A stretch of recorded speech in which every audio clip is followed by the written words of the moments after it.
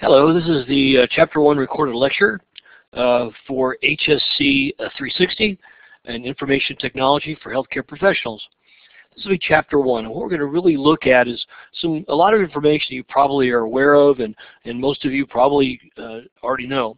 But I need to set a baseline to make sure that everybody um, is on the same plane plane level. So if we have people that this is new information, then they can get that, and we can all start at the same plane level, if they will.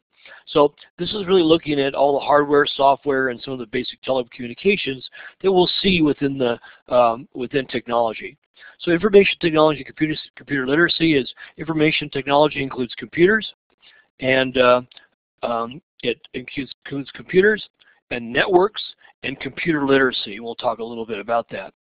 So computer literacy is really computer is really the knowledge of basic computer concepts, the ability to use those computers to make tasks easier, hopefully, though there's some question about whether that's true or not, and the ability to use the internet and World Wide Web in a functional, sort of productive way.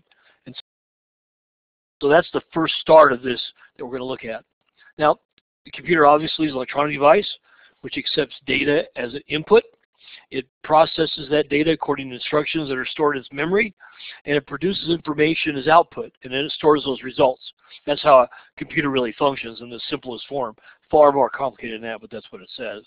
So we see here a basic computer. You have your monitor, your keyboard, your mouse, and your CPU. Now, computers in healthcare is especially crucial for allied health students have a knowledge of computers and networks because almost everything is becoming electronic in the healthcare world, and the and so it's all software and hardware, and and much much less is being done by paper uh, day to day.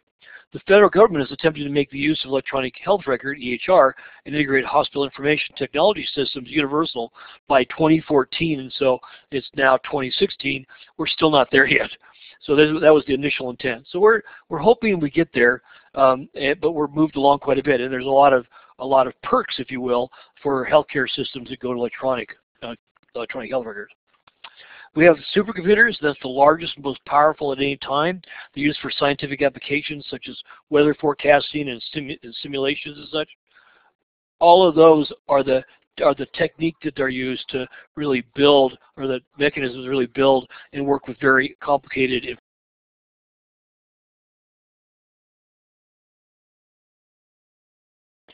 Now mainframes are a type of computer used in large institutions like businesses and hospitals, universities.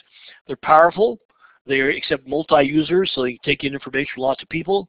They and they can access the many people can access the mainframe frame through their terminals or their computers.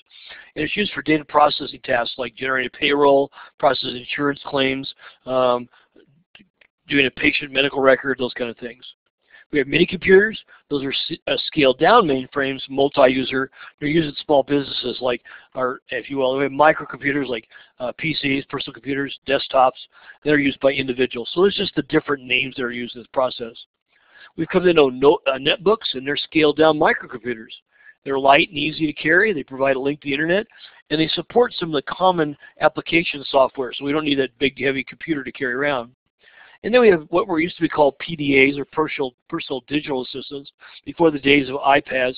They were small handheld computers, so now our phones have taken over that. Our phone has really become the PDA, if you will.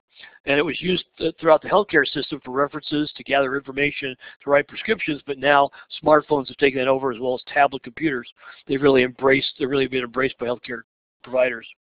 Smartphones or cell phones with built-in applications and internet access. They do provide phone service, obviously, and text messaging, email, web browsing, uh, still and video cameras. They have MP3 players and video viewing. And there are many health-related apps for the smartphones that we can use today. Just a good look at a smartphone.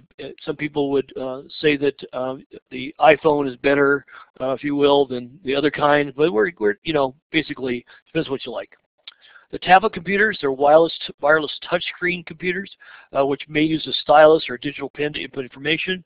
And the tablet computers have become widely used in the healthcare world. They really become pretty much a, a, um, a the focus, if you will, or the use, the input device in the healthcare world. There's a nice looking tablet, and they come in all sorts of brands and sizes and such. We have embedded computers. Those are single-purpose computers on chips that we have inside appliances or even human beings. They can be used to regulate a heartbeat or dispense medication uh, or uh, to, to monitor all sorts of things inside of an appliance or a human. Now hardware includes all the physical parts of the computer, the parts you can see and the and, and touch, if you will. They're the things that are that are the, the engine, if you will. Includes all the devices used to input hardware, includes all the devices that are used to digitalize and input data into a computer. And these are, if you look at the process, here's the the here's the the RAM chips, if you will. These, these provide volatile memory. There's the storage information that can be on a disk or a, thumb drive or a hard drive. Input uh, devices include keyboards and mouse, if you will, and then output devices can include a monitor, see a picture, and then of course a printer to print something in a hard copy. And then you have a processor, your CPU, that, that uh, is the center portion of that. Input devices, like I said, are keyboards. We have some direct entry devices that are pointing devices like a mouse. We have microphones and cameras that all take go, put information in the computer.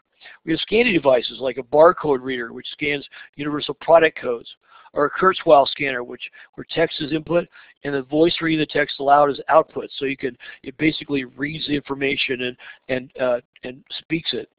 We have uh, MICR, a magnetic ink character recognition. We have an OCR, which is an optical character recognition. We have an OMR, optical mark recognition.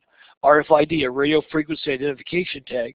We'll talk a little bit about that throughout the throughout this course. So processing hardware comprises the brains of the computer. It's the central processing unit and also has the memory. Now, central processing unit is a control unit directs operation following instructions of programs. It's arithmetic logic, if you will, uh, the unit that performs arithmetic operations and logical operations through comparisons. That's how it works. The memory is random access memory, or RAM, is a temporary workspace it holds current work, but it only stays a lot. It only stays there as long as the the the instrument is is uh, plugged in or has battery power. Once that goes away, then the, so does the RAM. The read-only memory, the ROM, is permanent. It can be firmware, and it can hold things like startup instructions. Some output devices, the soft copy they call it, are like monitors and voice synthesis. So they put out the monitor, they put something on the monitor picture or whatever. A voice synthesis put out it puts out a, a, language or whatever. We have hard copies, which are printers, which can be impact and non-impact. We have plotters. All those things are output devices. We can have secondary storage devices like magnetic media we see in hard disks or diskettes has been replaced by these high capacity medias like CD-ROM things and or, or thumb drive or, or flash memory they call it. So you also a USB drive. So solid state high capacity memory devices. It's interesting that the first, I have to tell you this, the first hard drive I ever owned was a one megabyte hard drive uh, for a computer in 1984 and it was about the size of a, of a loaf of bread. It cost $1,000 for one megabyte. And now in my computer I have 1.7 terabytes, and so a, a thousand megabytes is a gig, and uh, and 100 megabytes would be a terabyte. So it, when you start adding it all together, you, we have a lot more ability to develop memory now than we used to. Now system software manages the hardware like operating system and utilities and such, like uh, Windows 10 or whatever, that's, that's operating software. Application software does the tasks for the user depending on what we're talking about. Word processors, Microsoft Word, Microsoft Excel for spreadsheets, Microsoft Access for database management systems, uh, graphics, if you will. You can think of uh, Photoshop, if you will. Communications, you can have a, uh, internet browser. You can have uh, uh, something, software like, for instance, Skype that lets you talk to people over the internet. And then some very specialized packages you can use otherwise. Network of telecommunications, we have to think of connectivity.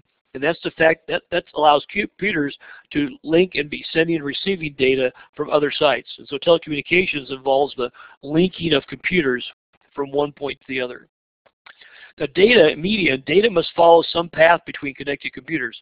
Connections can be high bandwidth or low bandwidth, be wired, which means they work on a Cat5 or Cat6 wire to a central central uh, server, or they be wireless, which means that they they use a wireless system, uh, Bluetooth in some cases, or wireless to to uh, send it and receive information.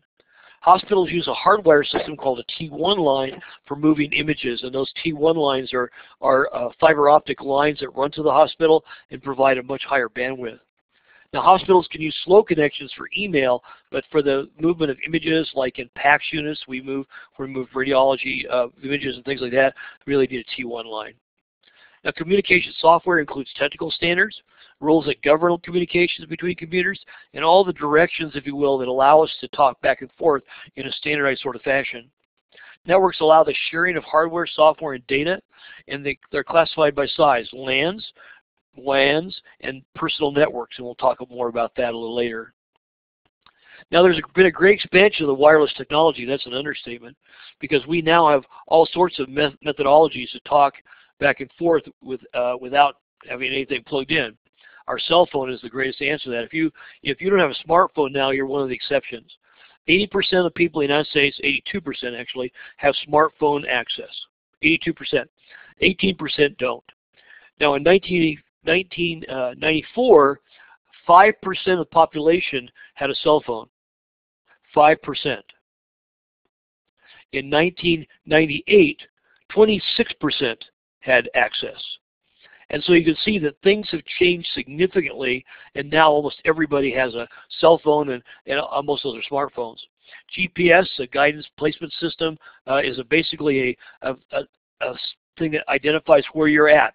And we use GPSs in lots of ways. We can attach them to appliances in a hospital so we know where those appliances are. We can attach them to our cell phone so we know where somebody's at. Wi-Fi is really the ability to attach to a to a, a central system, but it's uh, it's not the same as our cell phone uh, technology, which goes to satellite, but goes to a server, but via the the uh, wireless technology. We talked about PDAs before, our smartphones, and then our tablet computers, which allow us that access.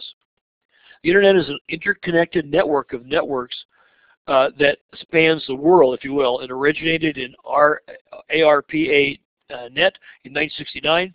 It subscribes to what's called the TCP IP protocols, and it services by exchange of text, data, programs, research, email, Medline, telemedicine, telecommunications, telecommuting. All that is part of our internet. Our internet has become quite quite fantastic when you think about what you're able to do. I have to go back. My daughter, for instance, has an iPhone 5, and she, when she wants to know something, she just tells, talks to Siri on her iPhone and says, Siri, what's the answer? And Siri provides that answer for her. That's a lot different than having to look it up. I'm not sure that's a good thing or a bad thing, but it does make us give us more ready access to information. The World Wide Web, www, which is the first three letters you put uh, when you're looking for a, a URL address, is part of the internet that allows the linking of multimedia documents. And you must have an internet connection and software called a browser to be able to get that intermediate access. The, the web is the geographical part of the internet is comprised of pages with these hyperlinks to other pages so we can click those and take us to other places. It can be searched using a search engine. There's many, many, many different types of search engines available. Everything from Bing to there's Alta Vista, which is still around, uh, lots of others. Every document has an address, a URL. It's called a Uniform Resource Locator, which you can enter if you know it, and you can browse and start anywhere and click on any links to other sites. So you can go in any direction you want. And that what that does is gives you the ability to look at many, many resources, multiple site resources, all at the same time if you choose. Search tools are search engines, and they allow the user to enter a search expression to find documents with a matching phrase. And their subject guides or directories, which help organize information in categories. All of that allow us to, to sort of filter through the information as we see it. Now, evaluate information. There's no standards governing the quality of information on the Internet. Much of it is unreliable. In fact, you have to be very careful because just because it's on the Internet doesn't mean it's real. I have to go back to a time when I was young where if it was printed in some way, people automatically assumed that whatever was printed was true. And if it was written hand, handwritten, was not as true. It's funny because uh, all it was available in was a typewriter. And uh, so if you typed it out, it was considered to be far more authentic than if you didn't. Nowadays, if you put it on the internet, then it must be authentic because it's on the internet. It's interesting how people have sort of derived that. And the truth is there's there's no uh, there's no way that you can say something's reliable and not reliable uh, except by this, looking at the sources like peer review uh, journals, things like that that have a that have a that will tell you they are they are the data is accurate and all that kind of thing. So it's a different it's a different world we live in. Some questions you have to ask when judging reliability of information. Is the site maintained by an educational, EDU, nonprofit, ORG, or a government, GOV institution?